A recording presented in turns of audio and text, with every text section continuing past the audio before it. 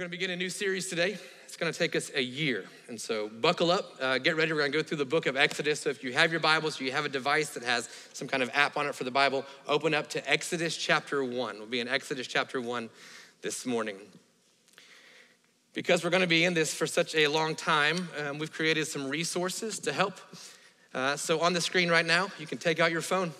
You're allowed to uh, use your phone If you can use your camera app. Uh, if you need somebody to help you, there's a whole student section over here who knows how to do this. Come grab one of them. Um, this is called a QR code. I don't know what it stands for, but this is what it is. Uh, get to your camera app. It should be able to scan that uh, picture. If not, you can just go to our website. Uh, but this is a study guide for part one. We're going to divide Exodus into two parts as we study throughout the year. This will take us all the way through May.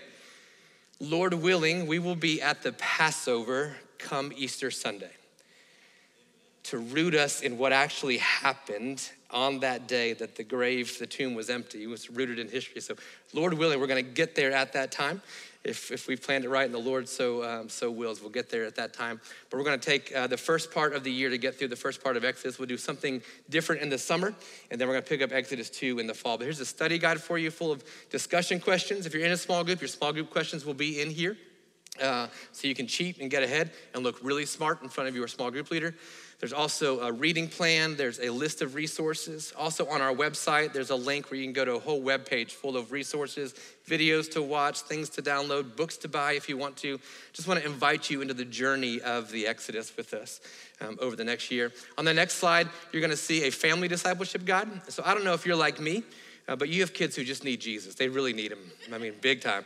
Uh, but you don't know how to do that. It's just, it's hard to figure out how do I train them in the way of Jesus? How do we do that? And so we've created just a simple resource for you. It'll take us, this first uh, part will take us through the first 10 weeks of this series. So you can scan this, it'll pull up on your phone. You can actually download it to your phone if you want to do that. Uh, you can do that, and it's right there for you. Just, um, I think, a simple way to disciple our kids. And I love what our, our children's ministry does, I love what Miss Allison does and Miss Natalie does, and all the volunteers who help to serve up there. Uh, but it's lost if we don't echo that back at home. And so this is a great way for you to do it. It's just simple questions you can be asking your kids throughout the week about Exodus and all those types of things. So that's all there. All right? All right, so with that in mind, we're going to begin our series now through the book of Exodus, starting in Exodus chapter 1. Over the past uh, few weeks, um, I've been sick, and so if you could just pray for me that I'm, I'm going to make it through. I, I, need to make it through this morning. Uh, my voice is weak. I feel weak, and so backstage, Jay asked, "Is it going to be a shorter message?" And then Joel just laughed, like he knows me better. He's like, "No, it'll just be quieter." And so that's that's what's going to happen. Um, length will be the same. So we're going to study today, but I'm, over the past couple of weeks, I've been sick, uh, just trying to get my body back to where I feel like it needs to be, where God needs me to be to continue to lead and pastor and teach. And so, uh, but one thing that happened for me really too late into the game is I decided I was gonna watch all the Marvel movies in order. Anybody, any Marvel fans? Any of you? Yeah. Um, I don't care about it really, to be honest with you. Uh, I don't, I don't, I didn't do the comic book thing growing up. I, um, I didn't. I, I did other things instead. But my kids love it, and they should. And so I, I've watched some from time to time. And so when you watch a Marvel, Marvel movie, listen, they're all the same. It's all the same. There's a hero, and he's either scientifically engineered or he's just loaded and can make himself scientifically engineered. And then he saves the world, but he's got his own problems. It's all the same. So when you watch a Marvel movie, you kind of get the you get it. You get the context of it. But what I learned was I was missing a lot, thanks to Micah Gotzi, our middle school pastor, I was missing a lot. I was missing a lot of what's happening. There's like apparently called Easter eggs. I don't know, whatever. Um, and so that's all in the rest of the movie. So I decided I'm going to Google how do you watch the Marvel comic universe in order. I'm going to watch it all. And so I learned this probably, I don't know, day seven of my illness, which is a problem because I really could have done a lot of damage, uh, but I didn't. And so I began watching them in order, and good gracious, it opened up a whole world to me of things that I did not know existed. So I'm seeing things, I, I don't stop at the credits anymore. I watch the end of the credits, which is a thing. There's things, important things that happen, which feels like a really bad idea. If it's that important, put it in the movie. But they didn't. And so I'm, so I'm learning a lot of things as I'm watching the movie. And that's, if you're a Harry Potter fan, it's the same way. If you're a Star Wars nerd fan, whatever, that's the same thing for you. Um, if you're a Falcons fan, you understand. Like, it's just been a whole history and you don't understand how bad it is now unless you understand the, the Chris Chandler days and all that kind of stuff. Uh, if you're a Braves fan, you, you understand why this World Series was so significant because we've been through it. And so you understand some, you have to know the context, really understand what's happening. You can get bits and pieces of it, but you miss it. So Exodus is like that. Exodus is a book that um, many of us know a good bit about. You know about uh, the burning bush, you know about the Red Sea, you know about uh, the e- Egyptians, you know about Pharaoh, you know about the 10 plagues. We, we know about the 10 commandments, we know about those things, but I don't know that we actually know about those things. Like I'm learning uh, about Iron Man. Like I, you, you got to know things to know things. And so Exodus is that. The word Exodus simply means the way out. The way out. Genesis is the origin or the beginning. Exodus is the way out. Exodus fits in the first five books of the Old Testament. That uh, the Greek word is Pentateuch, which means five books or the five book series. So I don't know if you're into series. I don't know if, if you have like DVD series like Joseph does. Uh, but if you've got a bunch of DVD series or you've, you've read book series, you kind of have to know them in order to understand what's actually happening. This is part of a series. So I want to give you just a few things for us to understand about Scripture before we dive into this. First of all, is this. While we have the Bible as one book, it's not just one book, it's a collection of books. It's a collection of what would have been scrolls gathered together and that through the power of the Holy Spirit and through prayer and insightful people have put together what's called the canon of Scripture or the scope of the 66 books that we have. The first five books of the Old Testament, the Torah, meaning the law, the law of Moses, instructions, or the Pentateuch, are the foundation on which everything is built. It's a five-fold volume. And so we have to understand Genesis in order to get into Exodus. But let's begin at Exodus chapter 1 and what the author, which we believe is Moses, has showed us, if, just in the first seven verses, if you're paying attention, is something brilliant that's happening if we're paying attention. So let's just dive in. Exodus chapter 1, verse 1. These are the names of the sons of Israel who came to Egypt with Jacob, each with his household. Now, we lose this a bit in translation. Many scholars would tell you the book of Exodus begins with the word and, meaning it's a continuation from Genesis. Now, Genesis is 50 chapters long. I don't have the time today to go through 50 chapters. But it takes us here to now the precipice of Exodus chapter 1. And these are the names of the sons of Israel. Throughout Genesis and even into Exodus, Israel and the name Jacob will be used interchangeably. Jacob, son of Isaac, son of Abraham, was actually then renamed Israel by God. So when you read the sons of Israel, it could be the nation, but it could also mean specifically this man. These are the names. So, just a really exciting way to begin this book. These are the names of the sons of Israel who came to a place called Egypt. Now, in the scope of and sequence of the Bible, we already know about Egypt. We know about Egypt because Joseph, the one with the Technicolor dream coat, has been in Egypt. And Egypt, and he's in Egypt because remember there was a famine. But before the famine, remember Joseph was beaten by his brothers and left for dead, and then brought into the courts of the Pharaoh, the king of Egypt, and he's risen to power. He's interpreting dreams, he's making recipes, he's doing a number of different things. But this is what we know about Egypt. This is important. They're in Egypt. Throughout Scripture, you're going to see a number of big um, places. They're, they're kind of the enemies of the people of God. Egypt is one of the first ones. Egypt is a big deal. So last week, when Daryl taught from Matthew chapter 2 about the wise men, I don't know if you picked up on it later in the story, that God sends Mary, Joseph, and Jesus from Judea, and he sends them, or from uh, where they were in Bethlehem, and he sends them to Egypt. Because what you're going to see is if you take the book of Exodus and you lay it over the rest of the story of Scripture, it is the story of Scripture. It's it. We are continually being set free from Egypt. So they go to Egypt, Jacob, each with his household. Verse 2 Now these are the sons of Jacob Reuben, Simeon, Levi, Judah, Issachar, Zebulun, and Benjamin, and uh, Dan and Naphtali. Gad, and Asher, all the descendants of Jacob were 70 persons. Circle that, remember this. When they first get into Egypt, there are 70 people. Now, 70 just represents probably the men, the direct descendants, men, uh, sons, grandsons, that kind of thing, but 70 of them. When they begin in Egypt, there are 70 of them, 70 persons. Joseph was already in Egypt, and he's there because he's working for the Pharaoh. Verse 6 Then Joseph died. Very anticlimactic. Then Joseph died, and all his brothers and all that generation. Verse 7 But the people of Israel were fruitful, circle that word. They increased greatly, they multiplied, circle that word, and they grew exceedingly strong, so that the land was filled, circle that word, filled with them. Moses is giving us some clues if we're paying attention and if we know the backstory. If you know the backstory, you understand how uh, the Avengers were assembled. This, this is what's happening. We got to know what's leading into this here. Fruitful, multiplied, and filled. 70 Hebrews, 70 Israelites, now in a place called Egypt, run by a king, the Pharaoh but over time, Israel grows exceedingly strong. They're fruitful, they multiply, and they fill the earth.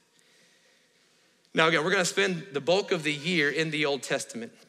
And the great Winnie Pooh author A.A. Milne has this quote about the Old Testament. It says, The Old Testament is responsible for more atheism, agnosticism, disbelief, call it what you will, than any book ever written. It has emptied more churches than all the counter attractions of cinema, motorbike, and golf course. What A.A. Milne is saying is the Old Testament is hard to read. Anybody amen to that? It's tough. I mean, it's full of this God who just kills people when he wants to. There's murder, there's scandal, there's polygamy, there's, uh, there's dads taking their sons up to a mountain to kill them. Like it's, it's rough. It's not clean, it's not pretty, and it's confusing. Because if all you know about God is John 3:16, you don't know God. Even the New Testament is built here. So this Old Testament, the Pentateuch, the first 5 books are huge for us. But we have to study them as they are meant to be studied. It's not just one book, it's a collection of books. Let me just say this to you real quick too. The Bible is not meant to be a handbook in which you pick and choose what you want to learn. It's the very word of God. And it's a biography, autobiography about who God is. And we have to study the Bible. We have to know the word of God. It's not a handbook. We don't just read verses, we read scripture. So, with that in mind, let's put all of this in context of Exodus. Let's go back to Genesis chapter 1. So, turn there if you want to, it'll be on the screen. Excuse me, at the end of, of the message today, there'll be a slide that comes up with a bunch of, of the scriptures we use today, just so you know what they are. Genesis chapter 1, God creates the world. In the beginning, God created the heavens and the earth, is where it begins. And he does so um, over a span of six days. In the six days, he creates man and woman. And he says this about them in verse 27. So God created man in his own image. In the image of God, he created him. Male and female, he created them. Whole other sermon. Verse 28. And God blessed them. Who is God? He's a blessing God. That's what He is. God blessed them, and He said to them, Pay attention, be fruitful, multiply, and fill the earth and subdue it. Are you paying attention? When Moses begins Exodus chapter 1, it's not a coincidence that he uses these three words again. What he is saying is there's a new beginning coming. Because over the course of the book of Genesis, we've gone, we've gone quite the distance from the Garden of Eden to Egypt. And what Moses is reminding us is that, but there's a new day. There's a new creation. There's a new beginning happening in Exodus chapter 1. So that happens. Everything is as it should be. Everything is very good, God says at the end of day six. He rests on the Sabbath day, the seventh day. Then Adam and Eve fall into sin. They are deceived by the serpent.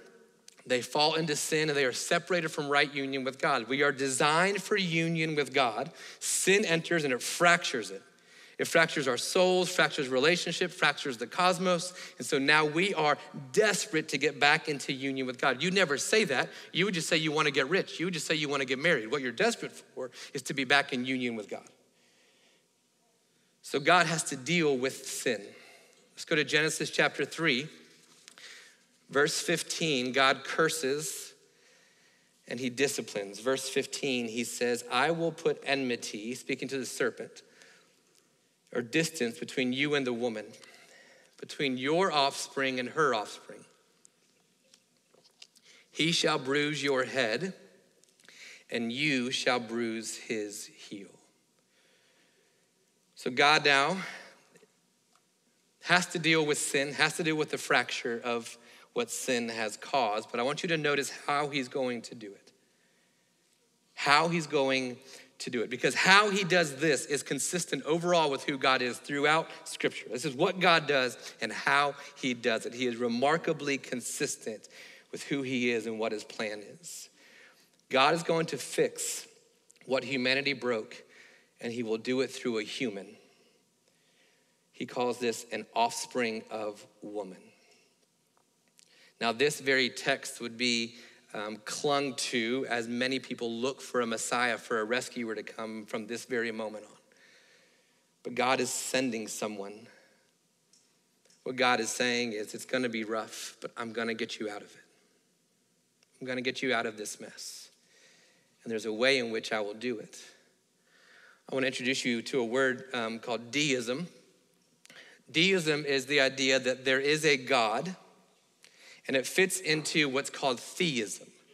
So, theism is the belief that there are higher beings. There, there's a God or number of gods. That's what theism is. Polytheism is the belief that there are more than one God. It would be what the Egyptians would have believed. We as Christians are what's called monotheists. We believe in one God, one true God. But we're not alone as monotheists, there are other monotheists as well. Inside of monotheism, theism as a whole, is another sect called deism. A deist believes that there is a brilliant intellectual creator, a God, but this God has set the world in motion and then has now stepped back from it. And, and, so, and so saying, he's not intimately involved with his creation. That's what a deist believes. A deist believes that God is a creator and that God has a plan, but that God just set that plan in motion and he'll be back to pick them up later. This is what deists believe. It's this belief that there's a brilliant creator God who is uninvolved in the life of his creation. This is deism. So, off the bat, let me say this we are the farthest thing from deists as followers of Jesus. We believe in a God who is annoyingly involved in the creation, in his creation.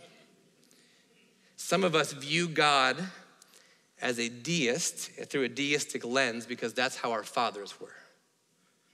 They created us and then they left. They created us. Maybe they didn't leave the house, but they weren't involved with us. They were too busy with work, too busy with um, other aspirations, too busy with alcohol, too busy with drugs, too, whatever. And so what we've done is we've created a God in our in our likeness, in our image, who is just like that. That's not who God is. God is that dad who wants to be at everything with you all the time and you're a little bit annoyed because he's cramping your style. Like, come on, dad, like, really? The coaching shorts and the high socks again? Do you have to do that to me here today? God is intimately involved in the life of his creation. But the truth is, if we're honest, it doesn't feel that way all the time, does it? How many of you, by show of hands, would say sometimes you've had seasons in your life when it feels like God is uninvolved in your life? Just raise your hand. Keep it up. Keep it up. And let's just look around. This is us. There are seasons where I, I know, I know God's involved. I know He's intimately involved in my life, but if I'm being honest, it doesn't feel like it sometimes. I want to know where He is. I wonder why He doesn't hear me. I want to know why He hasn't intervened. I want to know why He hasn't shown up. Well, this is the struggle that we're going to walk through in the book of Exodus. If a deist believes that God's not involved, Christianity believes that God has adopted us as sons and daughters, and He's intimately involved in our lives. So, this plan, he tells us about in the New Testament in Romans chapter 8. Paul says it this way I believe that the present sufferings of this time are not worth comparing with the glory that's to be revealed in us. Romans 8, 18 through 21. And he says, The creation longs with eager longing, or waits with eager longing for the revealing of the sons of God. But then look at this in verse 20. For the creation was subjected to futility. In other words, it was subjected to not producing anything. It was subjected to pain, subjected to um, misery, subjected to it not working, not willingly. In other words, the creation didn't subject itself, it was subjected because of him who subjected it. Who's the him? God.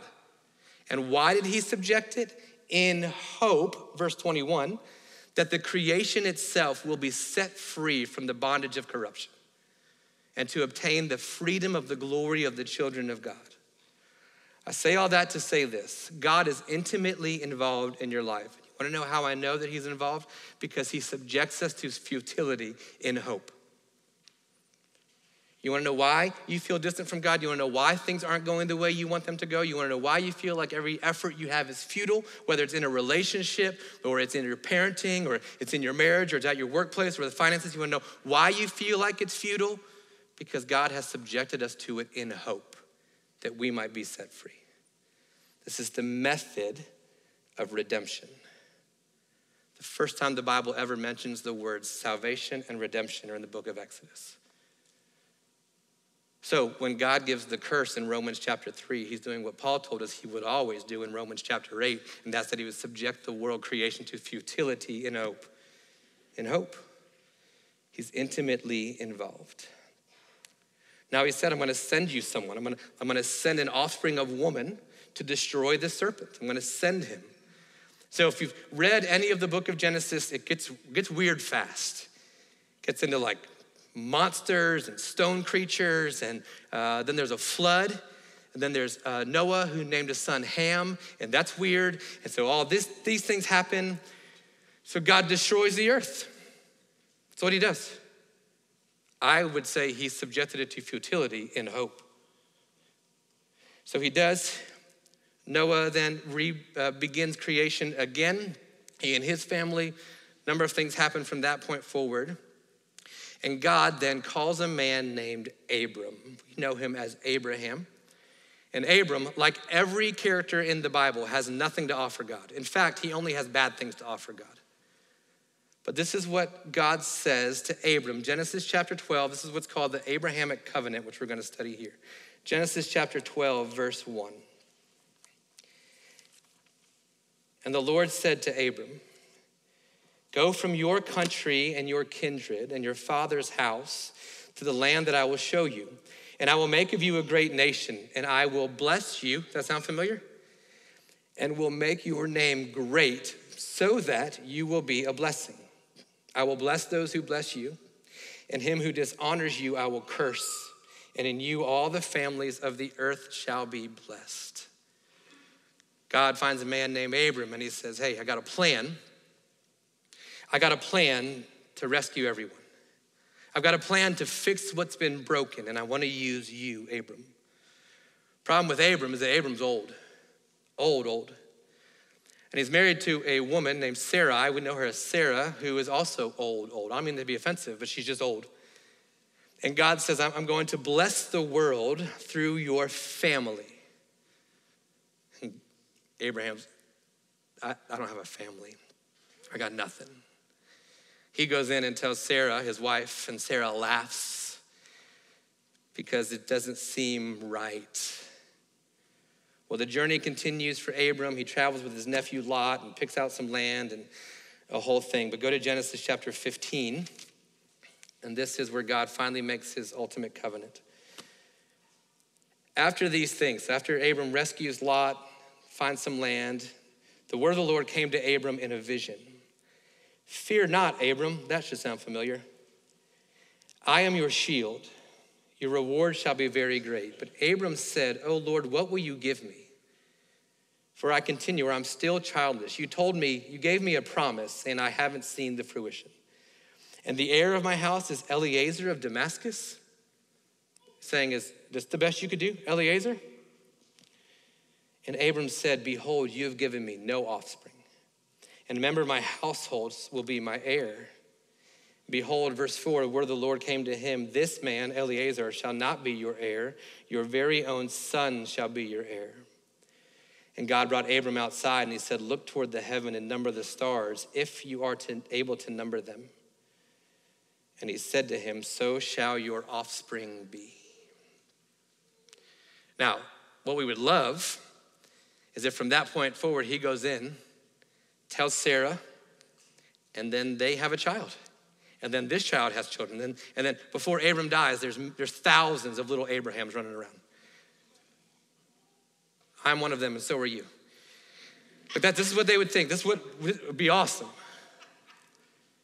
You know, at the end of Abraham's life, all he has is a son. That's all he has.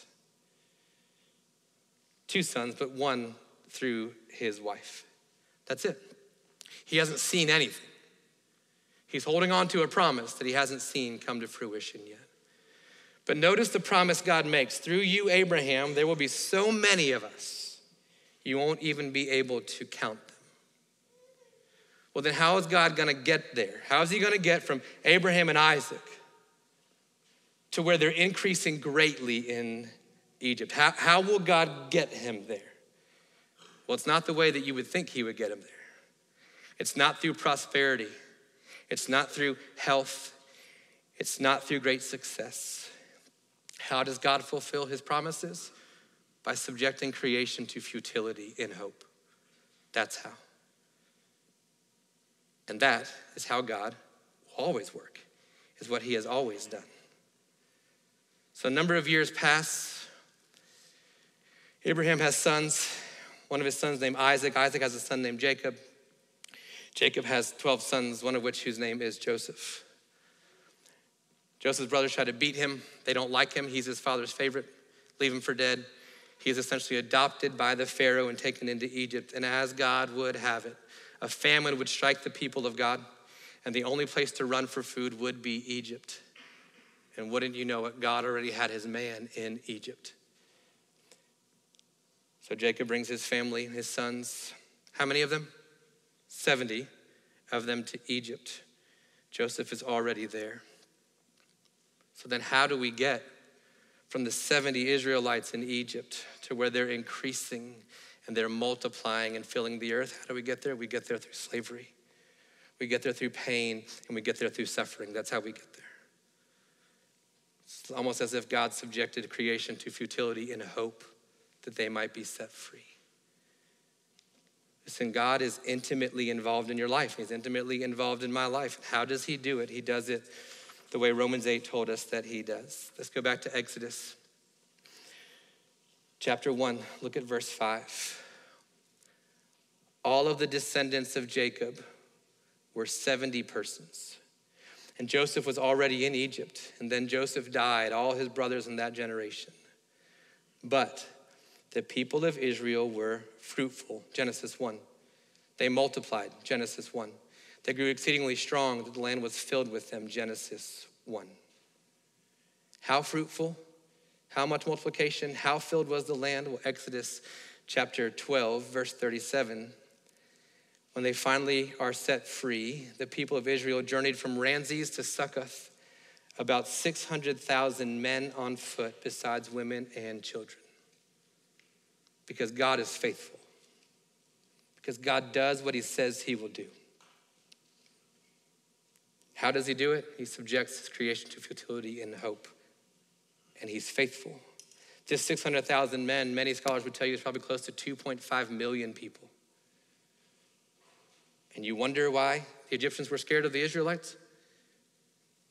Verse 40 the time the people of Israel lived in Egypt was 430 years.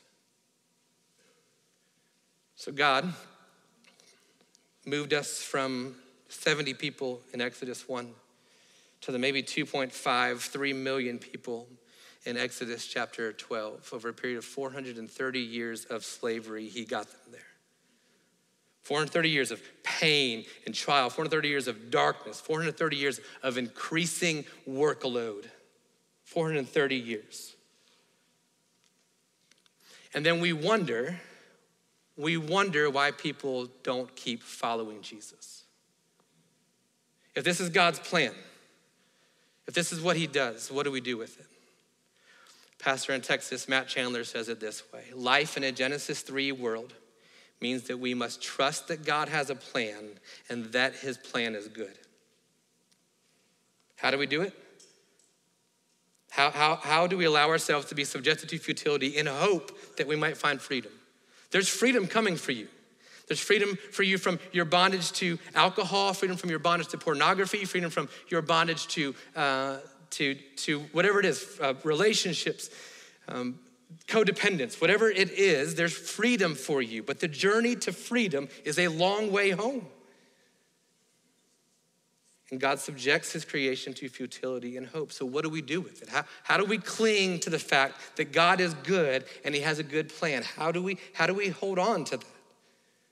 How do we hold on to it?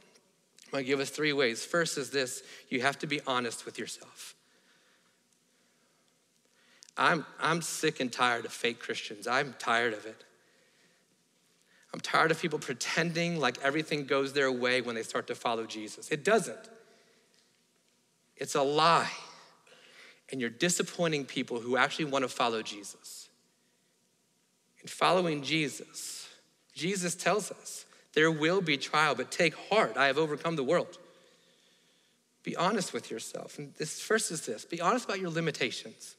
You are not God. You can't figure it out.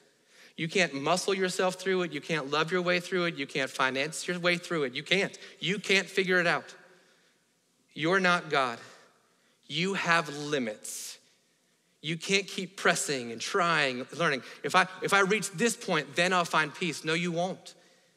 If I get if I get this level in my company, then I'll finally feel the presence of God. No, you won't. If I have a boyfriend or a girlfriend, if I get married, if I have kids, no, you won't. Be honest with yourself. Be honest about your limitations. I don't know how many of you have children, but this is what we learn a lot. We learn a lot about 12 and 13 year olds who think they're smarter than their 45 year old parents, aren't they? And you did it too. And we have to remind them sometimes listen, you're 12. I'm in my 40s. I can handle it. I wonder how many times God feels the same way with us. Listen, you're in your 40s, I'm eternal. I think I got it from here. Be honest about yourself. You've got limitations. You can't see it all. You can't know it all. You can't do it all. Be honest about yourself. One thing we tell our kids constantly, particularly our boys, is hey, listen, you just be their brother, I'll be their dad. You want to fix everything, son of God, daughter of God? Why don't you just be their brother, be their sister? Let our dad be dad. Be honest about your limitations. Secondly, I would say be honest with the Bible. You've got to be honest with Scripture. It's not a handbook, it's not a fairy tale. This is why we're so passionate about doing what we do on Sundays, about teaching the Bible. I don't care to teach you a series of five easy steps. I don't care. Go get a magazine. We want to teach the Bible. We want to teach it in context. We want to, we want to teach the Word of God's passion. That's why, that's why we want to do this for us. Not because we think we have the corner of, on the market on the Bible, because it's what we think we're called to do. And I believe it's what's best for us. I do. I believe you and me knowing the Bible is the best thing for us. The Bible is one unified story. It's written for us, but it's not written to us. It's for us, but it's not to us. So you can't just randomly pick a verse and think God says that to you. He, it's not to you, it's for you because it's about God. It's about knowing the character and nature of God. I love right now what our um, child, preschool children's and student ministries are doing. You know, they're teaching your children the Bible. They're not teaching them stories, they're teaching them the Bible. Our preschoolers, throughout the scope of a year, will study the entire Bible from Genesis to Revelation. Our elementary school students are in the midst of a 22 week series right now on the attributes of God. Our middle schoolers just studied the book of James last fall. Our high schoolers are in the book of Acts. because we love your children and we love them too much to give them pithy moral lessons. Be honest with the Bible, be honest about what it is. The Bible is messy and it's confusing and it's hard. And it doesn't make sense all the time, and there's context around all of it. Which is why this Wednesday night we're launching what's called our core class of Christian story. Because I desperately want us to be honest about what the Bible is and what it is not. Because there's been far too many people, far too many books and pastors and um, I don't, whatever, people. I can't say what I want to say. People abusing the word of God to fit their own means. And it's ruined people's lives. It's ruined families, it's ruined hearts and souls, it's ruined eternity for people. The Bible is God's inspired word breathed to us. We want to be able to study it and study it well and be honest about it. It's hard and it's confusing and it's not pretty and it doesn't mean you get everything you want in the end. Let's be honest about it. Be honest with yourself, be honest with Scripture, and finally, be honest with others. The beauty of church is not that we gather to hear a speech or that we gather to sing songs. The beauty of the church is that we gather to be with each other, worshiping the Lord. And what's beautiful about that is that this should be the one place on the planet you can be honest. But what's awful is it's become the one place on the planet you better not be honest. You can be honest with others. So, first, I would say this be honest about your struggles. Be honest that you don't understand something in Scripture. Be honest that you don't know where to find Leviticus. It's okay. It's okay. You don't have to fake it till you make it. Be honest that you're not real sure that you know um, who Jesus is. Be honest. Secondly, can we please be honest about our stories? It's like every testimony becomes this big fish story. No, it's not. You gave your life to Jesus, and for a few weeks you felt really content and at peace. And then life happened again, and you struggled. Quit telling the lie and trying to suck somebody into following a fake Jesus. Be honest about it. I gave my life to Jesus, and it was hard for a while. I had to be honest about things. I had to confess a few things. We just need to be honest with each other about it. Because what we've been sold is that God has a great plan for your life and it won't require any suffering. Read the Bible. Freedom comes through suffering. Be honest with others. It's why we have our small groups. And listen, I'm not going to tell you you have to be in a small group. I just want you to have a group of people who love Jesus and who love you. That's what I want for you and for me. You don't have to do it how we organize it, do it however you can figure that out. We have discipleship groups, groups of men and women who are studying scripture together on a weekly basis. We just need to share our real story, not some Southern Christianized version of it. Living in a Genesis 3 world means that we must trust that God has a plan and that it is good.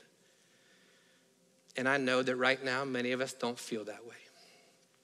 And I want to give you permission to say it. It doesn't feel that way. It doesn't feel like what he said was going to happen is happening. It doesn't feel like freedom is coming. It doesn't feel like um, redemption and restoration are coming. It doesn't feel that way. I know. It doesn't feel that way for me sometimes too. But I have this. His history can prove there's nothing he can't do. He's faithful and true and it might take 430 years. And you might die clutching onto a promise that you never saw come to fruition. But He's faithful. He is who He says that He is. Would you bow your heads and close your eyes?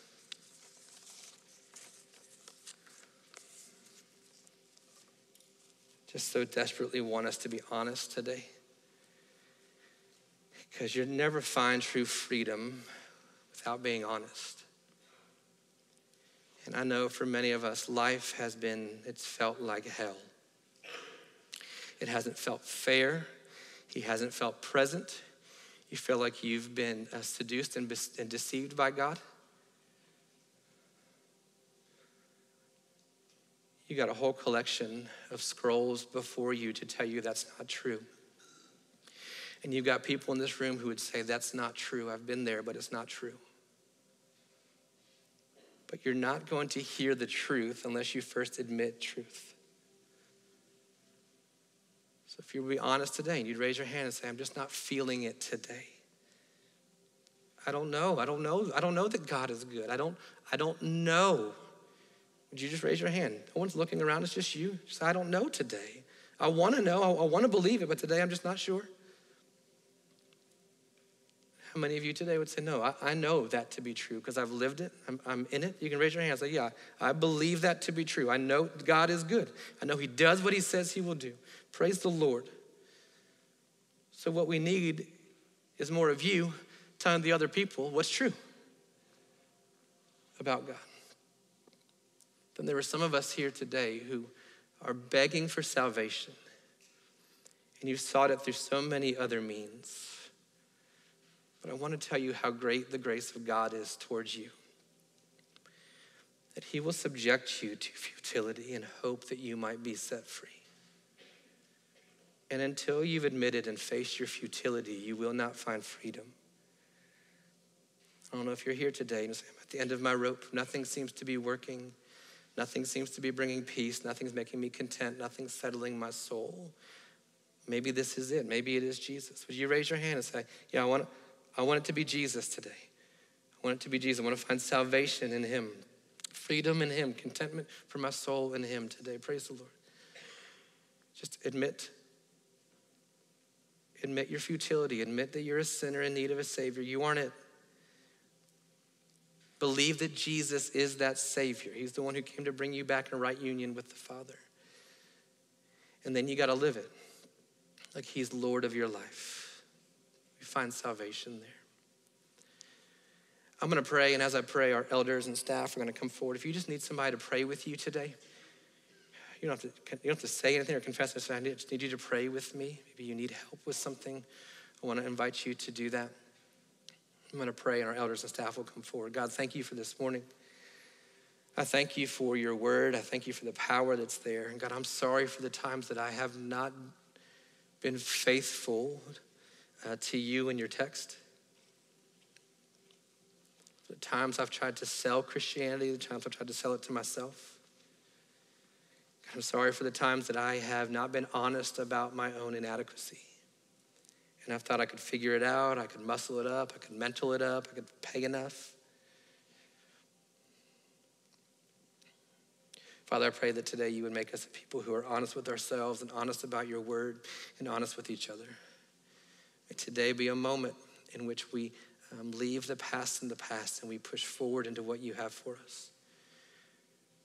Give us courage and strength through the power of your spirit to do it today. In Jesus' name, amen.